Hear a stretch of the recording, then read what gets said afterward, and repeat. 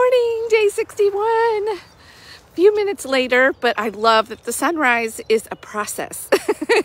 Lucky for me.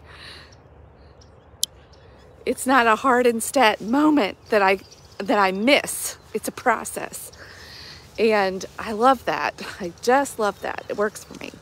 Um, and yeah, that is um, that's actually an important point to maybe even spend just a moment on because if you look on an app or you know like for research purposes or for data purposes or they do have to give sunrise sort of a moment you know that first moment that the that it starts to cross the horizon sunset as well.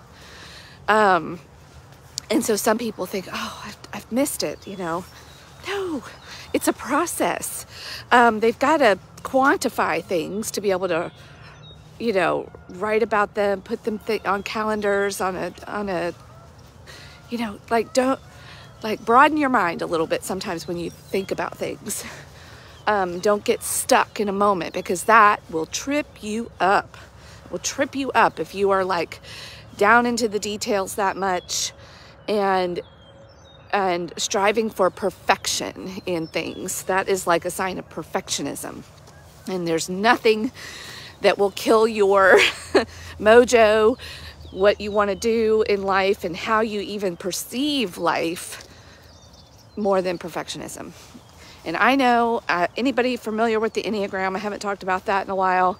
I'm a nine, but I have a heavy one wing, like I'm really lopsided. and I'm married to a one, which is the perfectionist. So I strive, that is like, has been my path to peace um, in life was to do things well, do things good, perfectly, um, and uh, be the perfect person for other people. Um, anyway, the do gooder, the ultimate do gooder. And meanwhile, I was failing myself and not really making other people as happy as I thought I was. I was very self deceived. Um, but anywho, on with today's little Bible reading. And I, I got some extra sleep, so that's why I am um, a few minutes later than normal. And thank you, God, that I only had a couple pages to read this morning. But I wanted to pull out a nugget from uh, 1 Kings chapter 19, the end of the story, when Elisha, Elijah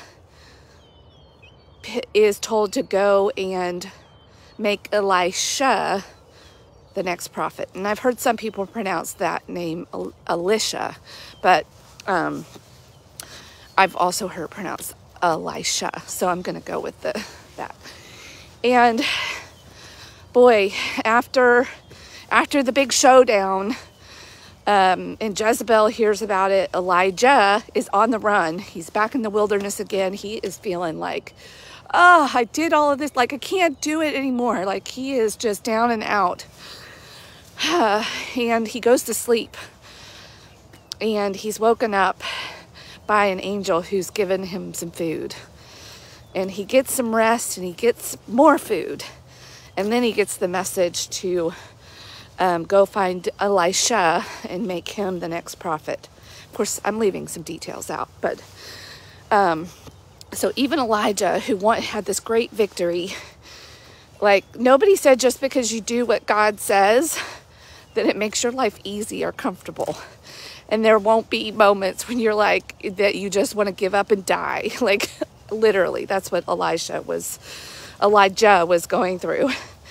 But the Lord in the morning revived him, gave him what he needed to keep going. And so he goes and finds Elisha. And it's a very short story. And we have to sometimes just take, take things on face value because, you know, times were just so different then. And we have to kind of, we can infer what it means. But he basically says Elisha was out in the fields plowing, and Elijah walks up to him and puts his cloak on him and not even much of a conversation happens. It's just like, okay, here you go. You know what this means, right? And so Elijah, Elisha says, okay, let me go say goodbye to my family and uh, I'll be right back.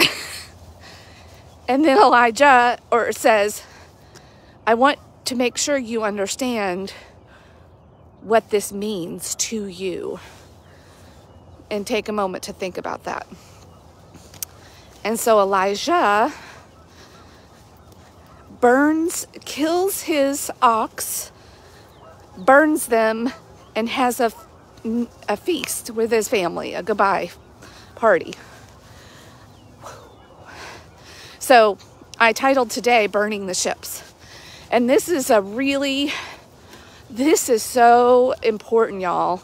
Um, when you really want to make a change in your life and you don't want to spend your time straddling the fence, white knuckling things like you can do it, but you're not all that happy about it, and that's not fully what you want to do, but you do it anyway, and you're just always living with this like tension of, oh yeah, look, look, I'm doing it, I'm, I'm different, but inside it's like, ugh, you're, you're not quite there. And there's a part of you that's still holding on and that's what Elisha, by killing his ox um, and not giving himself a way out, like he mentally, he was like, old life done, new life here. Even though it is a process, um, but there was a decision. There was just a line in the sand drawn, and then he followed it up with an action that he couldn't go back on. Well, he could. We can all change our minds and we can go back, but he made it really hard for himself.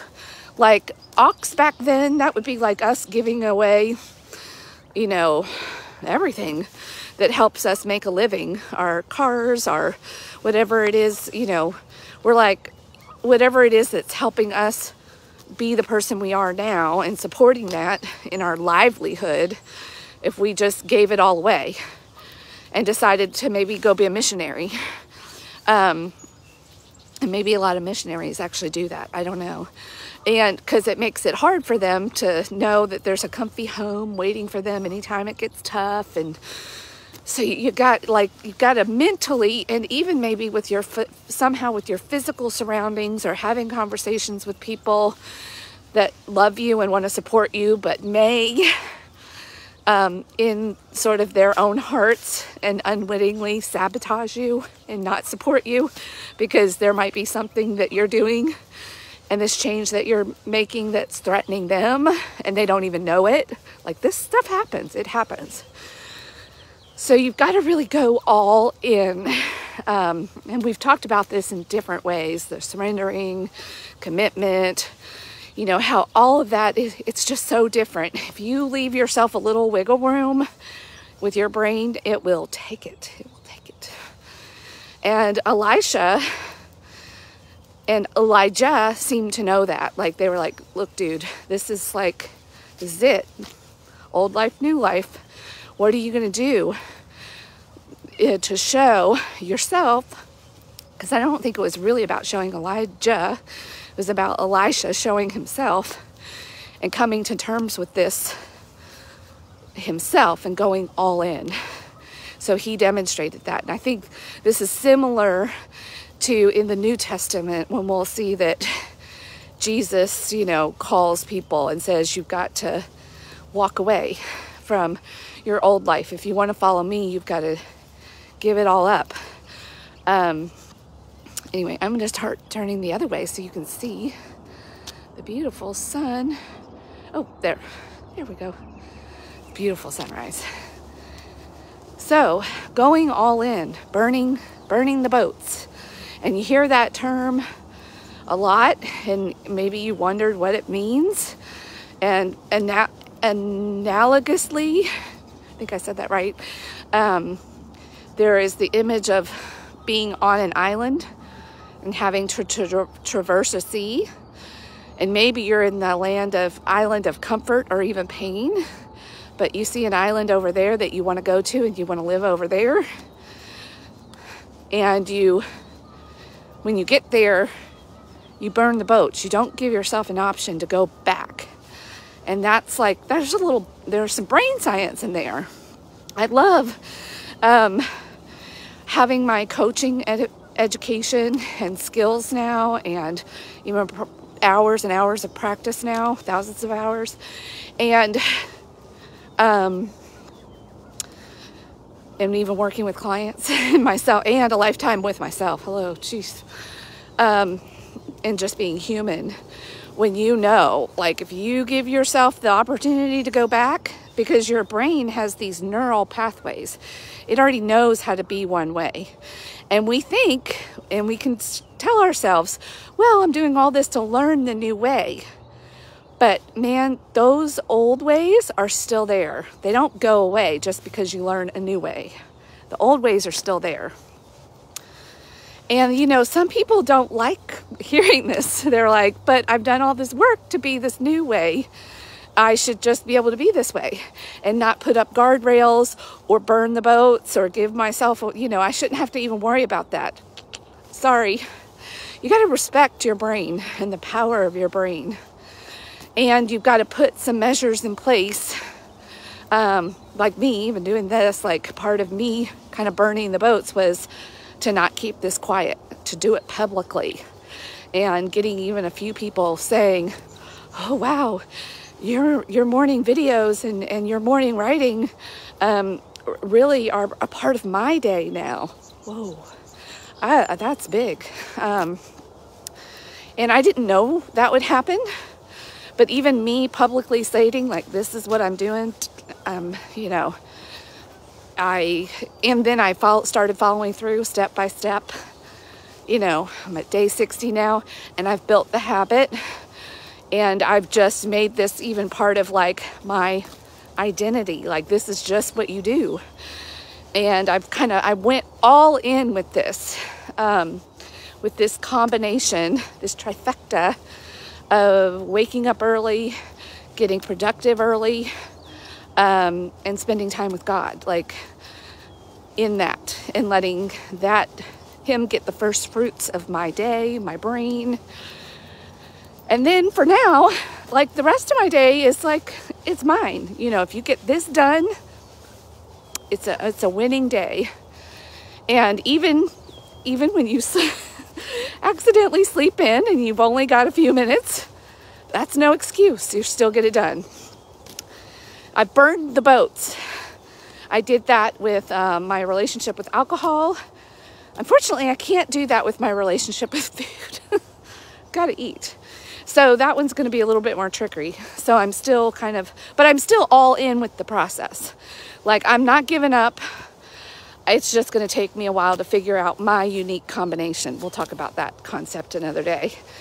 So I'm still in that process of even figuring out what my body will respond to. But mental, but I'm all in with the process. I'm not giving up. I know it will happen. I've burned the boats with making it happen. And and making what happen though. I'm going to go on off on a little tangent here because this is also important when we're talking about the islands and burning the boats. Like make sure the island that you're going to is the right one and that you've defined it in the right way. So, for example, you know, of course, for me, not drinking alcohol was very clear, like no, no alcohol. Like some things are very clear and simple. The um, sometimes the weight loss or fitness journey looks different for people, and for some people, it might be they've set a stake in the ground that it's a tied to a number and maybe even body fat percentage or a size. Not true for me. Um, because I really drilled deeper than that. Like that to me was too superficial and it was probably going to be too hard, even if I was able to achieve it, to maintain it. So, long term at an identity level, what is it that I really want from uh, uh, being at a lower weight? weight? That's where you you can get to the magic because then you're like really you know are clear on where you're going and what island you're going to live on so that then you can really be committed to burning the boats but if you're not sure and you picked out the wrong island and you go all in, that, you, so you want to really be careful first about defining where you are now and where you want to be. Not only what it looks like, but what it feels like, what it's helping you do, how it's adding to your life. Because that's what we really want. We're trying to add to our experience of life and enhance it. We're not just trying to do something, because there's, a, you know what, just gonna call it like it is. Uh, and I know a lot of these people, and especially because I'm a woman, I know a lot of other women, and I know perfectionist women, and they have it in their heads. I am gonna be a size, we'll just pick six, whatever, and uh, 120 pounds, and it needs to look this way and you know it's tied to a, a, specific measure and not that measurements are not important but i will tell you there's a lot of miserable thin, beautiful women out there. So it is not the attainment of a look that makes anybody happy. They have set their eyes on the wrong island. They have burned the ships with the wrong island and the wrong goal. and so that was definitely a mistake. I've been there too. I've been 115 pounds and in the skinny jeans. Like I've done, been there, done that. I was still thought I wasn't good enough then. It's the curse of women, right?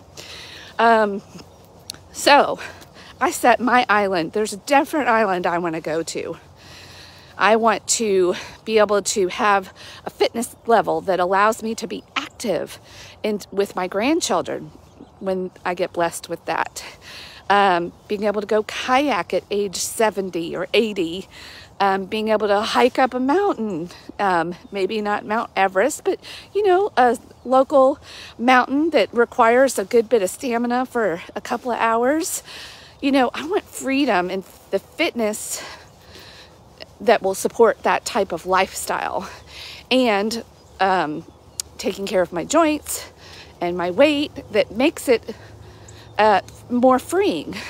Like I can still do those things, but sometimes it's a challenge but I'm working on it. I'm getting there. So I have a very different island that I'm also going to and measured by different standards that I know will be a life of, of um, integrity and freedom and that's measured in a different way than when you would typically think. So that would be the other thing that I would include with this. Like, make sure you know where you're going and what you're committed to, and then that's what you're you know, that's a good place to be committed to.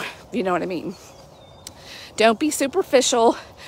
Don't be measured by other people around you and compared. Because also being in the world of real estate, I know a lot of miserable people that live in beautiful, big, beautiful houses. So those things, the trappings of the world and looking like your neighbor or like the person that you've picked out in the magazine or whatever, that doesn't that doesn't bring a fulfilling life. Um, so for most people, if that's what it's all about in and of itself, it's just the things and looking like a thing. You've got to go deeper than that. And you've got to really think about what you want to feel like and what a successful life feels like to you um, and then burn your boats and go all in with that. All right. Have a great Wednesday. Bye.